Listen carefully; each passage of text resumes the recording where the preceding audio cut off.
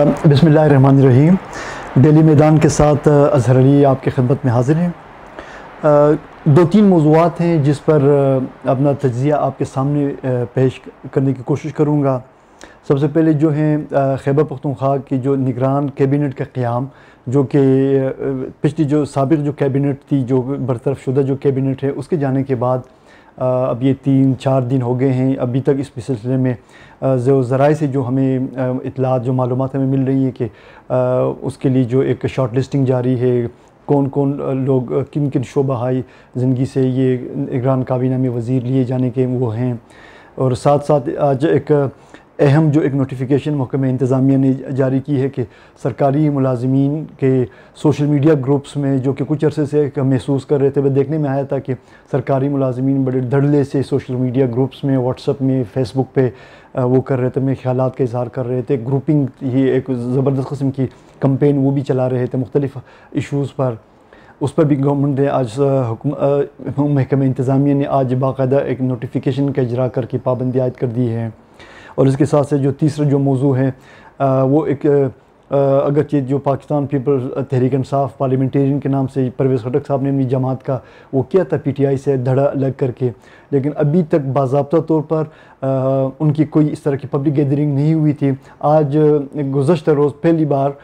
D I Khan में उनकी एक तकरीब हुई है जिसमें उनके कुछ सबक जो एम पी एस थे आगाज़ इकरामुल्ला और एहतशाम जावेद अकबर और ये बाकी उनके जो लीडरशिप थे वो कारकुनों के साथ उन लोगों ने गेट टुगेदर की है। मतलब अभी तक सूबे में किसी भी इवन पेशावर से में कहीं भी इनकी आ, उनकी जो एक दफ्तर की ओपनिंग हुई थी आ, उसमें भी मीडिया को भी इनवाइट नहीं किया गया था बल्कि मखसूस उनके जो सबक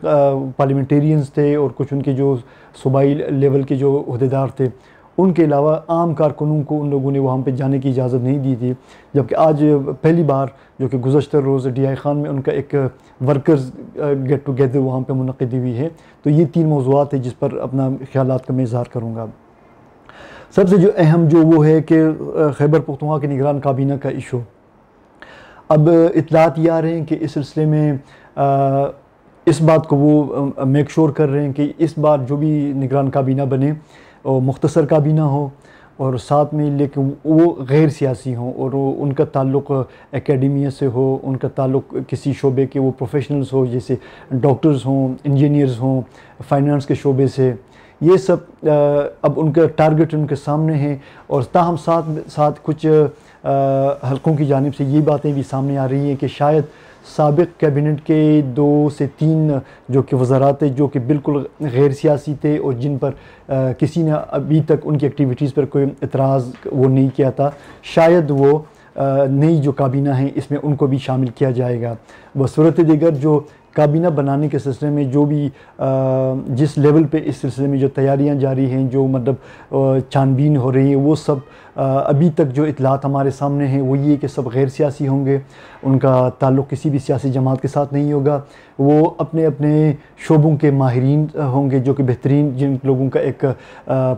माजी का जो प्रोफ़ाइल रहा हो, जिनकी खदमात हों, अपने अपने शोबों के हवाले से। और अभी चूँकि ये जो निगरान सेटअप है इसके बारे में भी अभी तो ये तो एक बात तो वाज है कि ये तीन महीने के लिए ये नहीं है, ये शायद ये छः महीने या नौ महीने तक जाएँ, क्योंकि इसका दारोमदार भी जो विफाक में जो निगरान हुकूमत जो कायम हुई है, बल्कि कायम होनी जा रही जो काबीना की जो पहली खेप खेप जो शायद आज शाम तक उनका अनाउंसमेंट हो जाए या वो कल उनका हल्फ उठा लें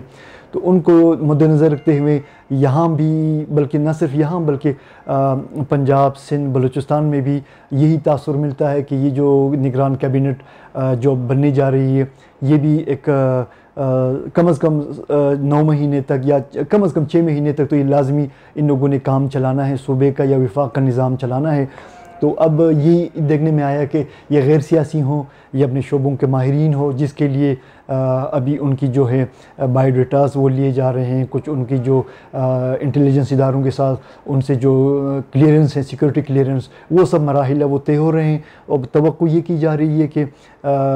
विफाकी काबीना के जो पहले मरहले में जो वो ज़रा हल्फ उठाएँगे, उसके फौरी बाद खैबर पुख्तनख्वा की जो निगरान काबीना है, उसमें इब्तदाई तौर पर ये कहा जा रहा है कि शायद छः से आठ वज़ीर शामिल होंगे। ये शायद अगले एक दो तीन दिन में ये नाम भी सामने आ जाएँगे और शायद अपने उहदों का हलफ भी उठा लें। और दूसरी जो मौजू है ये जो आ, सरकारी मुलाजमीन के व्हाट्सअप या सोशल मीडिया ग्रुपों में गैर ज़रूरी उनकी जो सरगर्मियों पर जो पाबंदी का जो एक नोटिफिकेशन का जरा है ये कि मैं समझता हूँ कि इसकी बहुत दुरस असरात मुरतब होंगे। क्योंकि कुछ अरसे से सियासी जो है मामला पर सरकारी मुलाजमीन चाहे वो सीनियर लेवल के ऑफिसर्स हों या जो मिडिल लेवल के मुलाजमीन हो या भी निचली सतह के जो भी लोअर कैडर के मुलाजमीन हैं ये सब इनका जो आ, इनकी जो ग्रुपें ग्रुपें हैं इनकी तंजीमें बनाई इन लोगों ने आ, एक दूसरे के पीछे लगे रहते हैं। इसके अलावा न सिर्फ़ अपने डिपार्टमेंटल इश्यूज़ पर, बल्कि ये सियासी मामला पर भी इनके बड़े वो ज़बरदस्त अपने रिमार्क से पास करते रहते थे और इवन के बाज़ मुल्की इदारों के हवाले से भी ये तनकीद करते रहते थे और ये सोशल मीडिया प्लेटफॉर्म्स पर ये एक बिल्कुल मुशाहे में आया है तो ये सब इसे बाखबर हैं कि मिस यूज़ एक जारी था और स्पेशली जो सरकारी मुलाजमीन जो कि रियासत के तनख्वाहदार होते हैं या रियासत के, उनकी वफ़ादारियाँ सिर्फ़ रियासत के साथ होनी चाहिए वो सोशल मीडिया पे आके हुकूमती और रियासती पॉलिसियों पर जब वो तनकीद करेंगे जब वो एक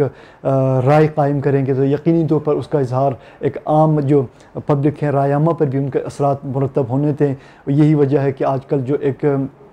पैनिक की सूरत हाल है आ, लोगों में आवाम में निचली सतह पर खसूस यूथ में ये इसका इसकी वजह जो भी है इसके दीगर वजूहत भी होंगे इसके पीछे लेकिन एक ये भी था कि सोशल मीडिया का जिस दरले से बेदर बेदरीग इस्तेमाल हो रहा है यहाँ पे। इसकी वजह से अब उम्मीद की जाएगी कि ये जो इनिशिएटिव हुकूमत ने लिया है, जो पाबंदी का नफाज किया है सोशल मीडिया पर सरकारी मुलाजमीन के जो आमद पर उनके जो गैर ज़रूरी जो सरकारी अहम मालूम की फ्राहमी या फिर टॉक शोज़ में जाना रेडियो में जाना इस तरह के जो भी मामला एक्टिविटीज़ वो करते थे ये कम होंगे वो अपने तमाम तर तवज्जो अपने जो उनकी जो बुनियादी ज़िम्मेदारी है कि बहसीत वो सर, सरकार के तनख्वाहदार मुलाजिम जिनका काम आवाम की खदमत और आवाम के लिए आसानियाँ पैदा करना था, वो अपनी पूरी तवज्जो सोशल मीडिया पर, अपना टाइम ज़ाय करने के बजाय अपने डिपार्टमेंटल इशूज़ पर टाइम देंगे। आवाम की तरफ़ वो मुतवजह होंगे, जो लोग अपने मसाइल के हल के लिए उनके दफातर के चक्कर लग, पे चक्कर लगा रहे हैं। उनके काम वो करेंगे, उनकी उनके लिए अपनी खदमात को वो करेंगे